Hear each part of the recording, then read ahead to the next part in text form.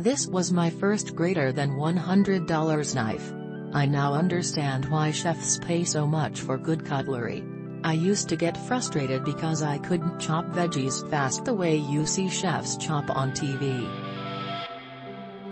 Now I know that it's because I didn't have the right knife.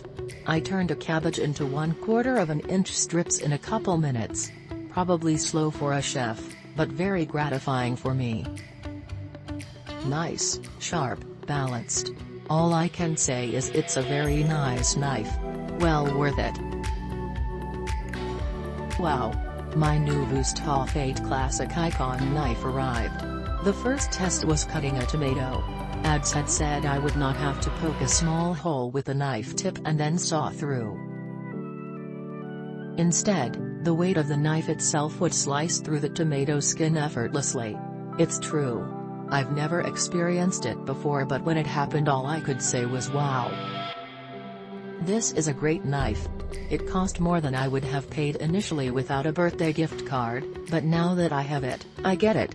It's like paying for Egyptian cotton thread count for bed sheets.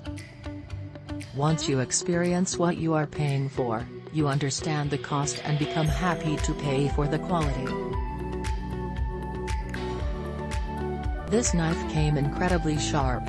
It is a little heavy but has a near perfect balance for my taste.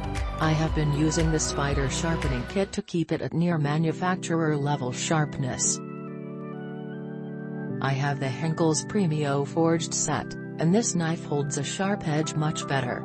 Very happy with my purchase and would buy again.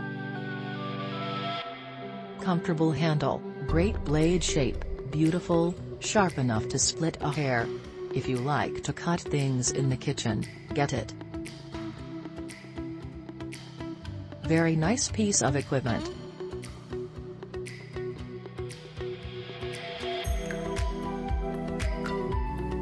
Click link in description for more reviews and best price.